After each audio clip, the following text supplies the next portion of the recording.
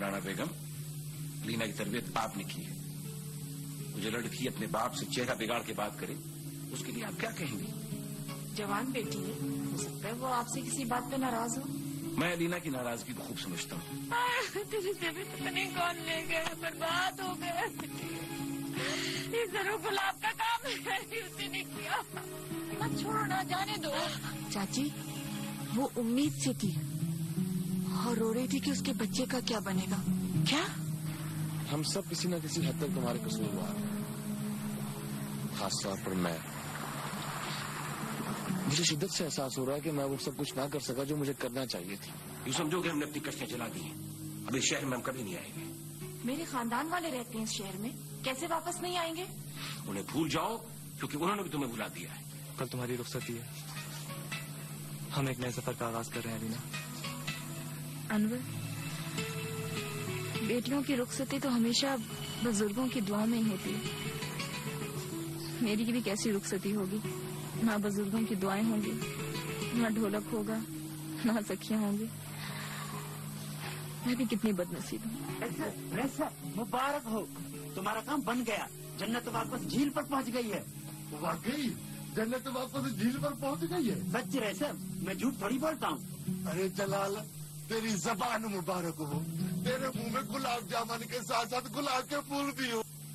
मैं अपने शोहर के साथ जा रही हूँ। जिसके साथ कुछ वक्त पहले मेरा निकाह हो चुका है अपने साथ एक दुख है कि मैं डैडी और आपकी दुआएँ लिए बगैर जा रही हूँ।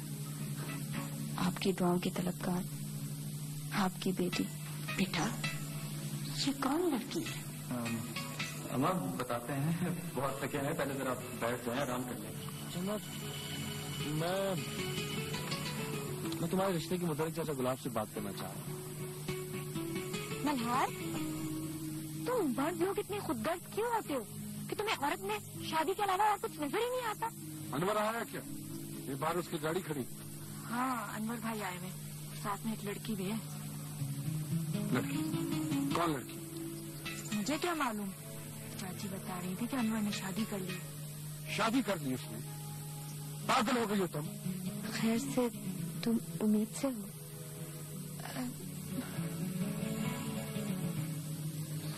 हाँ माँ। इसलिए क्या दसाई अलीना पहले मेरी मोहब्बत थी मगर अब मेरी गैरत बन गई है। मैं किसी कीमत पर इसे नहीं छोड़ सकता। ठीक। है तो फिर तुम्हें इस हवेली को छोड़ना होगा। कायनात खैर तो है ना भाभी ने क्या कहा? अयास हमें आज ही झील पर चलना चाहिए। क्यों?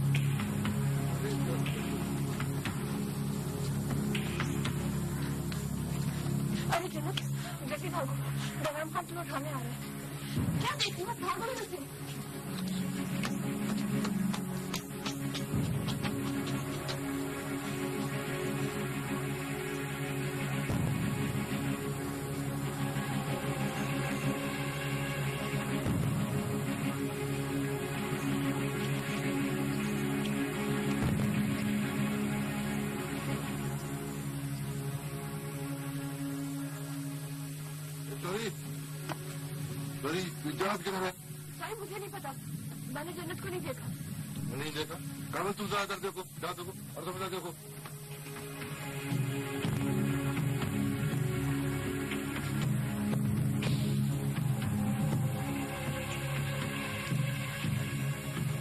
सच सच बताओ कहाँ गई जन्नत आराम खान आराम खान वो तो पंख से भागी जा रही है। पंख से भागी जा रही है? हाँ जल्दी करो चलो। हाँ।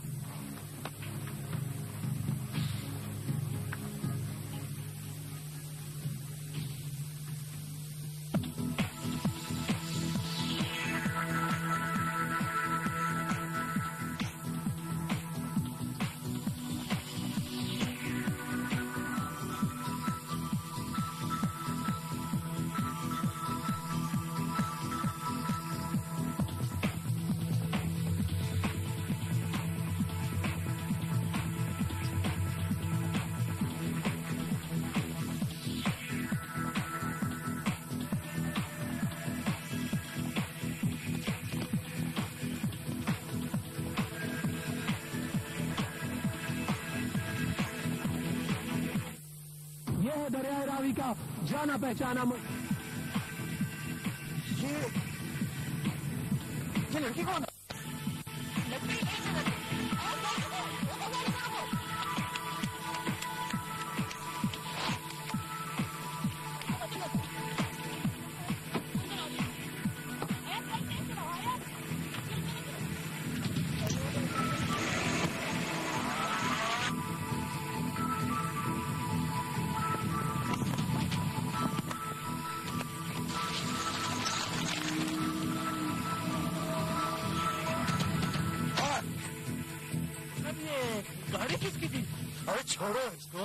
कहाँ भाग के जाएगी? अरे बहराम खान को जितना बर्बाद होना था वो हो चुका है। अब तू या तो मेरी बीवी बनकर रहेगी या कुछ नहीं रहेगी। अरे चलो, अपनी गाड़ी पे इसका पीछा कर। चलो।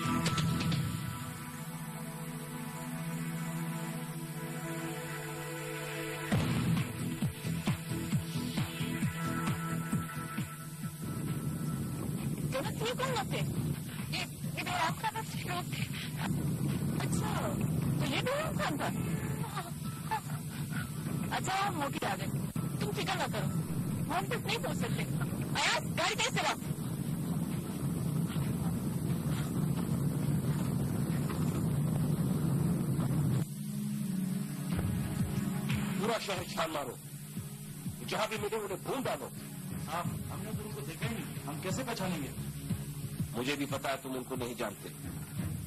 लेकिन जो ड्राइवर तुम्हारे साथ है वो उनको पहचानता है। बस तुम सिर्फ़ अपनी आँखें खुली रखना।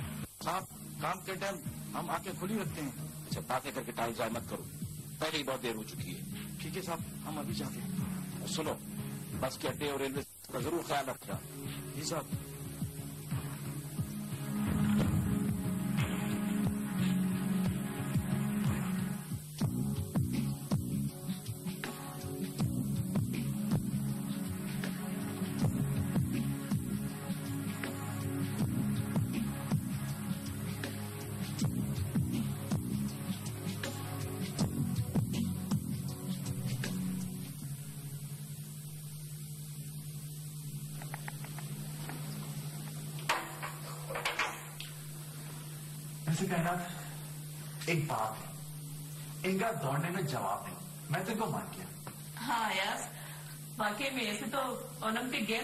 गेम्स चाहिए नहीं कायनात मैं भाग नहीं रही थी। मैं तो उड़ रही थी। हाँ भाई वाकई। वैसे एक बात का शुक्र अदा करें कि हम लोग वक्त पर पहुँच। अगर हम वक्त पे नहीं पहुँचे ना तो अ, क्या नाम बताया था आपने? एहराम खान। हाँ बहराम खान। आपके पर काट देता। फिर आप कहाँ से उड़ती? वैसे अयास। ये कितने अफसोस की बात है कि हम आज भी ऐसे माशरे में सांस ले रहे हैं जिसमें औरत की हैसियत एक जानवर से भी कमतर है। हाँ कायनात तुम कहते हो बिल्कुल ठीक है लेकिन हम क्या करें? इस सिविलाइज सोसाइटी में ऐसे ही होता है। तो क्या हमें अभी एक दो हज़ार साल और लगेंगे? अगर हम लोग पाँच हज़ार साल पीछे चले ना तो हमको पता चलेगा कि मुंजो दौड़ो के जो लोग थे वो हमसे ज़्यादा सिविलाइज थे। एनीवेज मैं चलता हूँ मुझको तो बहुत थका हुआ हूँ। कल मुलाकात होती है ठीक है? ओके वो अयास कल मैं कॉलेज नहीं आ सकूँगी।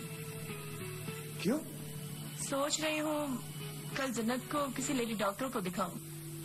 ठीक है जैसे तुम्हारी मर्ज़ी। ओके खुदाफिज ओके जन्नत खुदाफिज या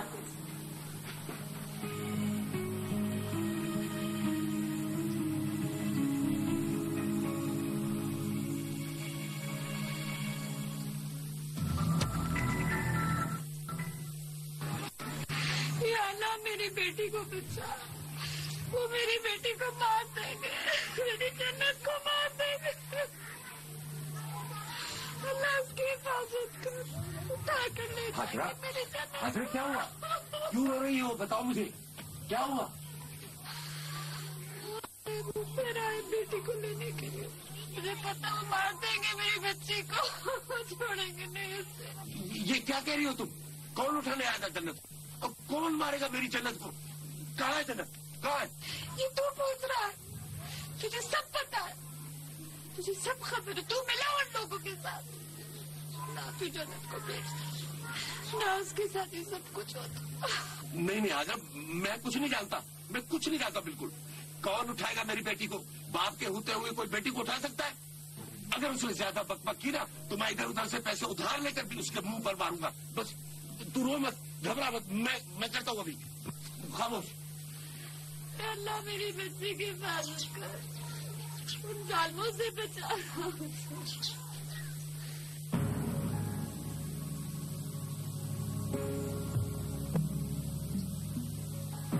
बेटा अब अनवर यहाँ रह मेरा हाथ बटाना चाहता है।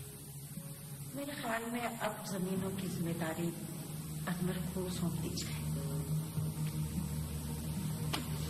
ठीक है माँ जी। अनिमल मेरा भाई है लेकिन आ, जब तक वो उस लड़की को छोड़ नहीं देता ना तो वो हवेली में रह सकता है और ना ही उसे कोई ज़िम्मेदारी दी जा सकती है। बेटा गलती भी तो इंसान से ही होती है ना? अम्मा अगर बाबा साईं अपनी गलती पर हवेली छोड़ के जा सकते हैं तो अनवर को भी हवेली छोड़नी होगी। बेटा तुम्हारे बाबा की और बात थी। वो पीर इनायत शाह की दरगाह के सजादा नशीन थे। अम्मा अनवर भी तो पीर अनायत शाह की गद्दी का चश्मा चराग है। आपको मालूम है कि बाबा कराची से हवेली वापस क्यों आ रहे थे? ताकि वो अनवर और कायनात की शादी खानदान में कर सके। तो क्या हुआ? अनवर अब भी खानदान में शादी कर सकता है। वैसे मर्द दो दो तीन तीन शादियाँ तो करते ही हैं। लेकिन अम्मा मैं उस लड़की को इस हवेली में बर्दाश्त नहीं कर सकता हूँ। ठीक है। अनवर आए तो मैं उसे कह देती हूँ। कराची वाले बंगले पे जाकर रहे। मगर चाची अगर अदा अनवर उस लड़की को कराची वाले बंगले में रख सकता तो उसे हवेली क्यों लाता? तो क्या मैं ऐसी लड़की को अपनी हवेली में रख लूँ जिसके खानदान का पता ही नहीं है? मगर आज़म साई वो लड़की जैसी भी है आपके भाई की बीवी है और उस हवेली की इज़्ज़त है। बहुत हो तुम खामोश बैठो बिल्कुल। ठीक है बेटा मैं अनवर से कह देती हूँ कि वो कराची लौट जाए।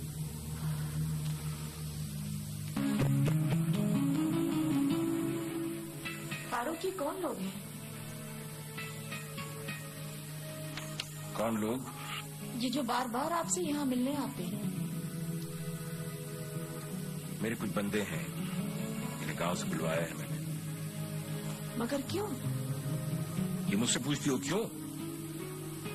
मैंने इन्हें अलीना के लिए बुलवाया है। वो क्या समझती है? मुझे इस तरह जलील करके आराम से बैठेगी। फारूक वो बच्ची है ना समझ है।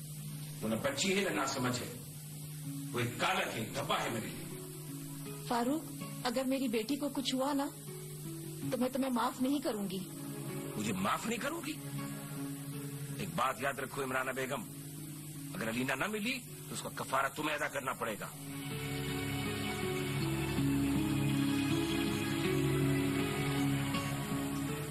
अम्मा अदा साईं से बात की आपने? हाँ बेटा मैंने की थी बात। फिर क्या कहा अदा साईं ने बस जवाब दे दिया। कहता है अनवर को जो कुछ करना है वो करे। लेकिन अलीना को हवेली से निकालना होगा। ठीक है अम्मा। मैं अदा साईं की बात मानता हूँ। लेकिन मुझे ये बताएँ कि अलीना को हवेली से निकाल के आखिर में कहाँ लेके जाऊँगा? बेटा मैंने उसे बहुत समझाया। बहुत ही कहा। लेकिन वो समझता ही नहीं। तुम्हें तो पता है तुम्हारा भाई कितना जिद्दी है।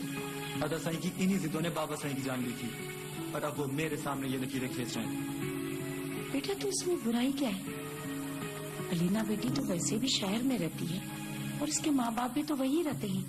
अम्मा अगर अलीना को शादी के बाद मैंने वहाँ रखना होता तो यहाँ क्यों लेकर आता? बेटा तुम खुद सोचो अभी तक तो तुम्हारी तालीम मुकम्मल नहीं हुई।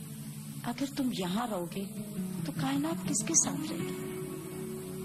बेटा तुम ही समझाओ ना जी जी हाँ। मैं समझाऊँगी। देखो बेटी, हमारे खानदान में बाहर से शादी करने का रिवाज नहीं है।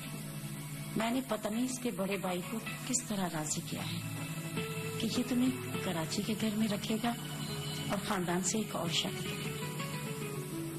जी? जी बेटी, इसे ऐसा करना पड़ेगा।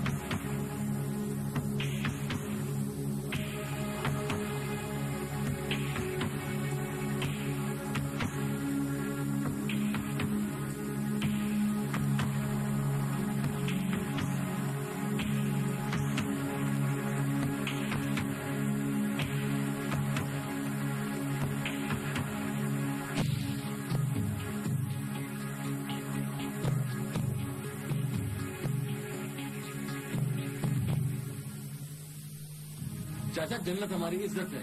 हम उसे उन दरिंदों के रहमो करम पे नहीं छोड़ सकते। अरे तुम तो हो ही पागल। ना किसी की सुनते हो ना समझते हो। अब हम उसे कहाँ कहाँ तलाश करेंगे? अरे बेटा छोड़ इसे। ये तो बिका हुआ तू कुछ करना अगर इसमें जरा भी गैरत होती ये डूब मरता। मैं कहता हूँ हाजरा जबान मत चला। वरना मुझसे बुरा कोई नहीं होगा। ये सब तुम्हारी करतूतों की वजह से हुआ है। ना तू सही रास्ता दिखाती और ना हमारी जन्नत को ये दिन देखने पड़ते। आज तक हमारे साथ कुछ तुम ऐसा नहीं हुआ है कि कोई लड़की अपने मंगेतर से भागती फिरे। चाचा ये बहराम खान जन्नत का मंगेतर कब से हुआ? और जहाँ तक मुझे मालूम है कि तुमने बाबा साहिब से जन्नत मुझे देने का वादा किया था। वादा किया था? कोई दी तो नहीं थी? मेरी जन्नत कोई मुर्गी का बच्चा तो नहीं कि तुझे मुफ़्त में दे दू? अगर यही बात थी तो मुझे बताया होता मैं खरीदा जन्नत को। तुमने उसकी बोली गैरों से क्यों लगाई? और वैसे भी तुम पचास सौ करके मुझसे जन्नत के पैसे वसूल तो कर चुके हो। बलहार बेटा मेरी एक बात सुन ले। जन्नत मेरी बेटी थी। उसके बुरे भले का मुझे ही सोचना था। अरे तेरे पास है ही क्या? अगर वो बहराम के घर शादी करके जाती ना तो लाखों में खेलती वो लाखों में। अरे ये क्यों नहीं कहता कि जुआ खेलने के लिए रोकड़ा मिलता है? चाची खुदा के लिए भी इस झगड़े को छोड़ो। ये सोचो कि जन्नत को उन दरिंदों के चुंगल से कैसे बचाया जाए। चाची कुछ भी हो मैं जन्नत के पीछे ज़रूर जाऊँगा। अगर मुझे फकीर बन के ढूंढना पड़े ना तो मैं फकीर बन के भी ढूंढूँगा उसे। दुआ करो कि वो किसी मुसीबत में ना हो। मैं तो नींद में भी इसके लिए दुआ करती हूँ। अब मेरे पास दुआओं के सिवा है ही क्या?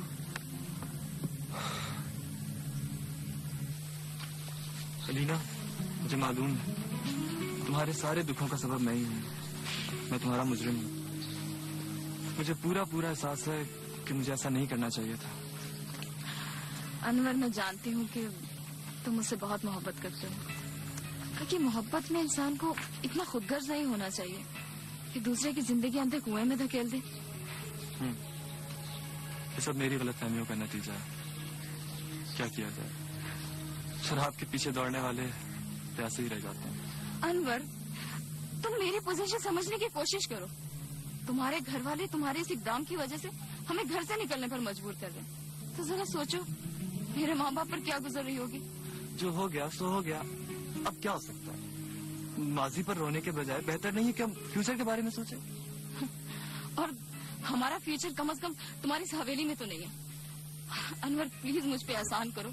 मुझे इस हवेली से निकालो मेरा दम घुटने लगा इस हवेली में। तो कहाँ चले? कराची में हम रह नहीं सकते क्यों नहीं रह सकते? इतना बड़ा शहर है। किसी भी कोने में पड़े रहेंगे। अलीना जरा सोचो सारी ज़िंदगी एक कोने में किस तरह कट सकती है? तो सिर्फ़ कराची तो एक शहर नहीं है ना? और भी बहुत सारे शहर हैं इस मुल्क में कहीं भी चले जाएँगे।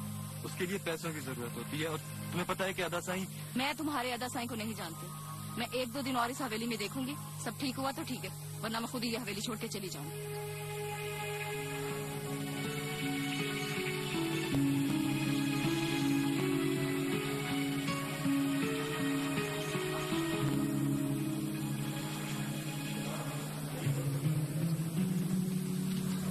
साहबा ने कहा है कि फ़िक्र की कोई बात नहीं है। ये दवाइयाँ लिखे दी हैं।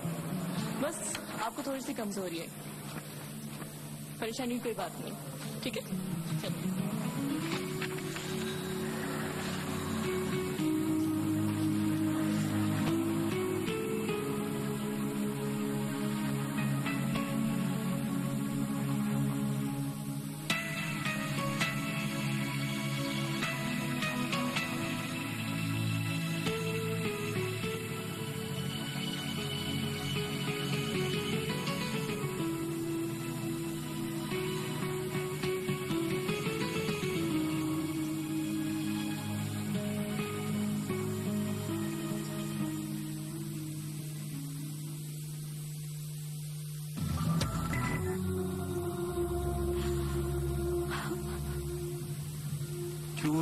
रही आजरा क्यों अपनी भी नींद खराब कर रही है और दूसरों की भी। चुप करके सो जा।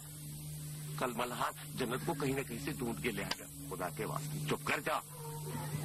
अब गुलाब वो कभी नहीं आएगी। जालमों ने मेरी बेटी को जीते जी मार दिया। अच्छा हो अगर वो एक ही बार मर जाए। ऐसी बेटी से तो हम ऐसे ही अच्छे हैं आजरा तू क्यों नहीं मरता जालिम पापी? मैं कहता हूँ चुप करके सो जाओ। वरना ये सारी बस्ती आज तुम्हारा तमाशा देखे हाँ हाँ ये एक तेरा एहसान रह गया मुझ पे। कल ले बना दे मेरा तमाशा। मेरी जन्नत का तो तू पहले से ही तमाशा बना चुके हो। पता नहीं कहाँ होगी मेरी बेटी वो पागल कहीं की चुप करके सो जा। क्यों नींद खराब कर रही है अपनी भी और मेरी भी?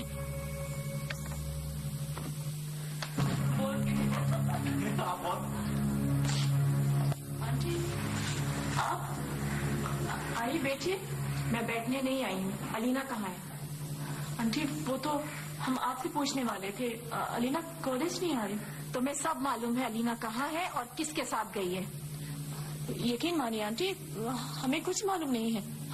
अगर तुम्हें नहीं मालूम है तो सुन लो। अनवर और अलीना की ज़िंदगी को खतरा है। अलीना के डैडी ने उनके पीछे बंदे भेज दिए हैं। जिस दिन वो उनके हत्थे चढ़ गए ना, वो दिन उनकी ज़िंदगी का आखिरी दिन होगा। अनवर को मैंने अपने बेटों जैसा समझा था। मुझे नहीं मालूम था कि वास्तीन का सांप निकलेगा। आंटी, ये जो कुछ हुआ है, हमें इसका बेहद अफसोस है। लेकिन यकीन माने इसमें अलीना की भी रजाबंदी शामिल थी। वो तो पागल थी ना समझ थी। उसे क्या मालूम कि उसकी वजह से मुझ पर और खुद उस पर क्या बीतेगी? देखिए आंटी, जो कुछ होना था वो तो हो चुका। अब अब ये दुआ करें कोशिश करें कि बात आगे ना बढ़े। अब वैसे भी अलीना ने और अनवर ने शादी की कोई गुना तो नहीं किया? तुम अनवर के क्या लगते हो? मैं अनवर का रिश्तेदार हूँ। अगर तुम्हारी बहन इस तरह किसी से शादी कर ले तो तुम कबूल कर लोगे उसे? नहीं ये सब कहने की बातें हैं। हमसे पूछो जो हम पर गुजर रही है। सिसक सिसक कर जी रहे हैं। कोई घूर कर देखता है तो नज़रें झुका लेते हैं।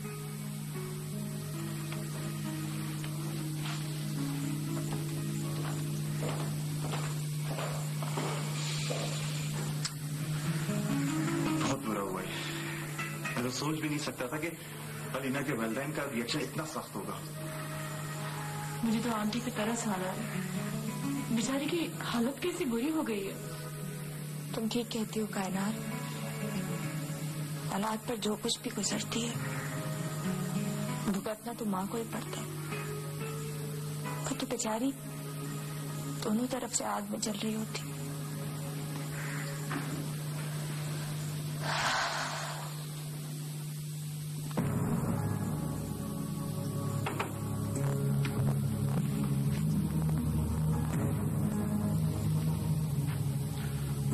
अनवर कहाँ गया है? जी पता नहीं शायद कहीं बाहर गया। तो फिर तुमने क्या फैसला किया है? किस बात का? हवेली से जाने का। जी वो मैं क्या कह सकती हूँ? ये तो अनवर ही बता सकता है। मैं अनवर से नहीं तुमसे पूछ रहा हूँ। मैं क्या कहूँ? मैं तो अपना घर बार सब कुछ छोड़ आई। आप ही बताइए मैं कहाँ जाऊँ? तुम्हें ये बात घर छोड़ने से पहले सोचनी चाहिए थी। तुम लोग ये क्यों भूल जाते हो कि तुम एक भटका हुआ ख्वाब ही नहीं हो बल्कि अपनी माँ की आबरू भाई की गैरत और बाप की इज़्ज़त भी हो।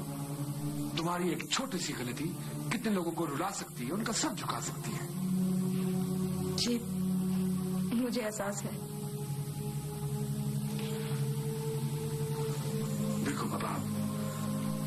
हम लोग बहुत इज्जतदार और रवायत पसंद किस्म के लोग हैं।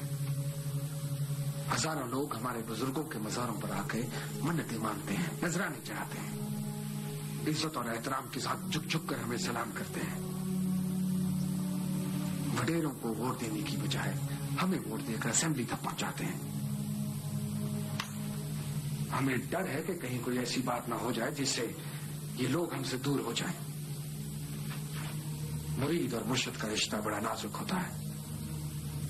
तुम समझ रही हो ना? जी। तुम्हारे लिए यही बेहतर है कि इससे पहले अनवर कोई फैसला करें। तुम यहाँ से चली जाओ।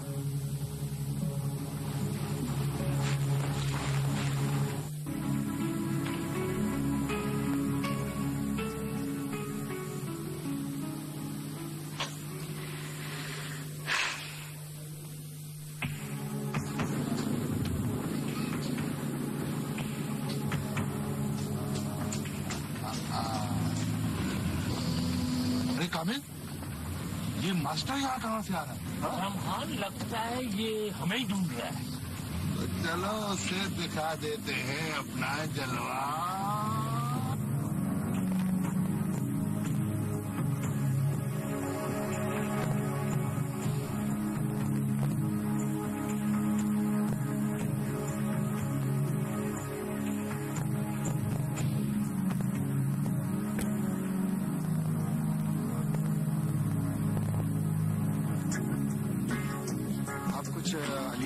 के बारे में कुछ बता सकते हैं क्योंकि आप उनके साथ पढ़ते हैं। देखिए ना ही तो हम किसी अलीना को जानते हैं और ना हम उसके साथ पढ़ते हैं। ये कैसे हो सकता है? देखिए आप मेरी बात का यकीन कीजिए अलीना को मतलब अलीना तो पहली दफ़ा मैंने नाम सुना है। देखिए आप इतना खौफजदा मत हो। हमें थोड़ी सी मालूम उनके बारे में चाहिए और कुछ नहीं। देखिए अगर मुझे जरा से भी मालूम होगी तो मैं आपको ज़रूर बताऊँगा लेकिन जब मैं जानता ही नहीं हूँ तो मैं आपको क्या बताऊँ? चलो। चलो कहीं और पता कर हाँ लेते हैं। पता करते हैं।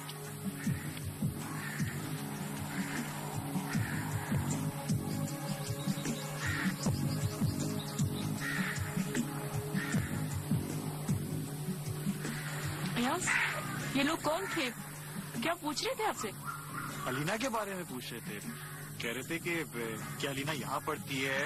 और अगर पढ़ती है तो उसका उठना बैठना किसके साथ है? फिर तुमने उन्हें क्या बताया? मैंने क्या बताना था? मैंने कह दिया कि ना तो मैं अलीना को जानता हूँ और ना उन लोगों को जिसके साथ उसको उठना बैठना है। फिर? वो कह रहे थे कि तुम हमसे कुछ छुपा रहे हो। ये कैसे हो सकता है कि अलीना इस कॉलेज में पढ़ती है और तुम उसको नहीं जानते?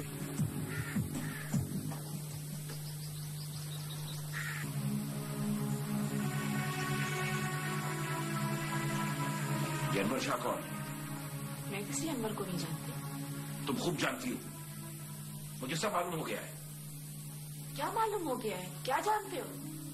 यही कि वो अलीना के साथ कॉलेज में पढ़ता था। और ये कि उससे मिलने के लिए इस घर में भी आता था। अलीना के तो बहुत से क्लास फेलोज यहाँ उससे मिलने आते थे। मगर तुम ये क्यों पूछ रहे हो? क्या किया अनवर ने? कुछ नहीं किया। सिर्फ़ इतना कि मेरी बेटी को भागा के ले गया। मेरी पुश्तों की इज़्ज़त को दागदार कर गया। कालक लगा दी मेरे चेहरे को। मुझे कालक को दाग मैं अलीना और अनवर के खून से धोऊँगा मैंने बंदे भेज दिए उनके पीछे। और वो बहुत जल्द बता देंगे कि उनका ठिकाना क्या था। और वो अब कहाँ है? नहीं नहीं फारूक तुम ऐसा नहीं कर सकते। वो बच्ची है उससे भूल हुई है। इमराना बेगम वो बच्ची नहीं है। दाग है दाग फारूक अहमद के साथ पुश्तों पर लगा हुआ दाग अगर यही बात है तो सुनो ये कुदरत का इंतकाम है इंतकाम। तुम्हारी वजह से भी तो किसी इज्जतदार की गर्दन झुकी थी। किसी के चेहरे पर कालक लगी थी। कोई अपनी इज़्ज़त का मातम करते हुए कोने में सिसक सिसक कर रोया था। और जवान भाई अपने दोस्तों की तंजिया नज़रों का सामना नहीं कर सके थे तो उन्होंने घर से निकलना छोड़ दिया था। अच्छा ये खेल ही तुम्हारा खेला हुआ मौसूफा ने बदला लिया है अपने शोहर से, अपने बाप और भाइयों का। इमराना बेगम, बुरा किया तुमने, बहुत बुरा किया। वक्त आने पे सब मालूम हो जाएगा तुमको। अयाज लगता है अलीना का डैडी हमारा घेरा कुछ तंग कर रहा है। वो कैसे ये बात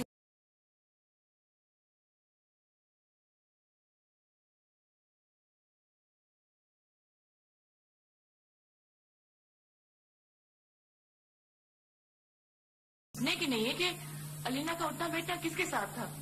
यकीनन अनवर और अलीना का एक साथ कॉलेज से गायब होना इस शक को यकीन में बदलता है। मुझे कहना फ़िक्र हो रही है कि सारा नजला कहीं तुम पर ना गिरे। मैं भी यही बात कर रही थी। कहना तुम ऐसा करो कि कुछ दिनों के लिए हवेली चली जाओ। नहीं अयाज मैं जन्नत को अकेला छोड़ के हवेली कैसे जा सकती हूँ? अरे हाँ ये बात तो है। नहीं नहीं कायनात तुम मेरी फ़िक्र बिल्कुल मत करो। मेरे नसीबों में तो वैसे ही उड़ना लिखा है। तुम क्यों मेरी वजह से अपनी जान जोखिम में डालती हो? नहीं नहीं जन्नत ऐसी कोई बात नहीं है। वो मेरे इम्तिहान करीब है ना इसलिए मैं नहीं जा सकती। हाँ हाँ। भाई कायनात जन्नत यहाँ पे कब से आई हुई है? बोर हो रही होगी। ना तुमने इसको घुमाया ना फिराया ना खिलाया। तो कुछ तो दिखाओ जाके। हाँ ये ठीक है। क्यों ना आज शाम हम जन्नत को कहीं ले चले? ठीक है? चलो ठीक है।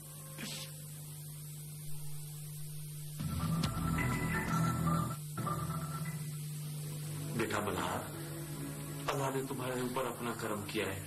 वरना दुश्मनों ने तो तुझे मार ही दिया था। अरे चाचा इन मामूली खराशों की तो खैर है।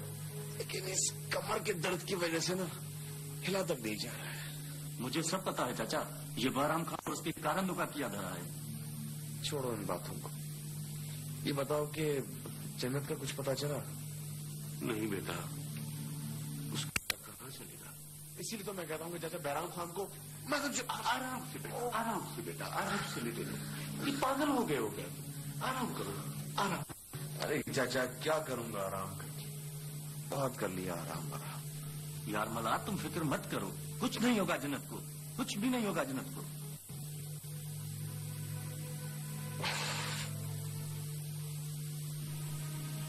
अनवर? क्या हुआ? पता नहीं और कितने दिन यहाँ रुकना पड़ेगा। मुझे कहीं ले चलो। मैं घूमना चाहती हूँ कुछ देखना चाहती हूँ। क्या तो फनलैंड या मीना बाज़ार लगाओ या तुम देखना चाहती हो? मैं खुद को इन पूंजों की जोड़ी की तरह कैद महसूस कर रही हूँ। हर तरफ़ ऊँची ऊँची दीवारें। मैं तो तंग आ गई हूँ। हवेलियाँ तो ऐसी ही होती है मैडम। सारी ज़िंदगी इन बंद दीवारों में पता नहीं कैसे जीती हैं ये औरतें। नहीं नहीं आई हो आधी हो जाओगी। तुम्हें मालूम है जब छोटे छोटे परिंदे पिंजरों में कैद किए जाते हैं ना तो शुरू में बहुत अपने पर फड़फड़ाते हैं। फिर आहिस्ता आहिस्ता। आधी लोग सब्र कर ही लेते हैं। अनवर मैं को परिंदा वरिंदा नहीं। मैं एक पढ़ी लिखी लड़की हूँ। और कम अज कम मैं इन बातों की कायल नहीं मुझे मालूम है। आई नो अलीना लेकिन मैं ये भी जानता हूँ कि हम एक ऐसी कश्ती के मुसाफिर हैं जिसके चप्पू हमारे हाथ में नहीं अच्छी बात है। तुम अपनी रवायतों और रसूलों के सामने माथा टेके रहो और मुझे आज़ाद कर दो। क्योंकि कम से कम मैं इन हवेलियों में नहीं रह सकती। आई एम सॉरी ठीक है। कल दादा साहब के मजार पे दुआ मांगने चलते हैं। उसके बाद जहाँ नसीब ले चले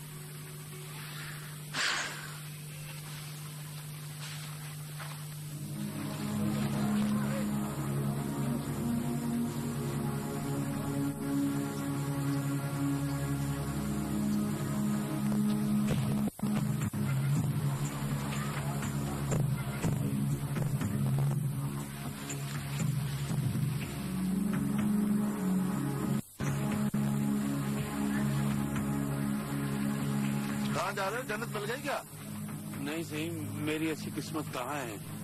पता नहीं मेरी बेटी जन्नत की किस्मत में भी क्या लिखा है फिर यहाँ क्या कर रहे हो? साई मेरे भतीजे को पता नहीं किसकी गाड़ी ने चक्कर मारी है तो मैं उसको अस्पताल लेके गया था। अच्छा अच्छा अच्छा। अब कैसा है? सही उसको अंदर की चोटें आई है। वैसे तो ठीक है लेकिन वो चल फिर नहीं सकता। सही मेरी बेटी जन्नत को किसी की गाड़ी में आपने जाते हुए देखा? नहीं भाई यही तो पता नहीं चला। उसी के लिए तो निकले हुए हैं हम सब। लेकिन कहा जाएगी हम उसे ढूंढ कर रहे हैं कि देख लेना गुलाब। हाँ सही, अभी तो उसकी रुखसती भी होनी है। सही, आप झील की तरफ़ जा रहे मैं चलूँ आपके साथ? अरे नहीं नहीं, तुम जाओ। हम खुद उसे ढूँढने जा रहे हैं, बस जाओ। चलो।